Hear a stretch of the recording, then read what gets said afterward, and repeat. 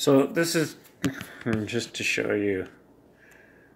So this is just to show you how powerful these magnets are. And the screws. uh,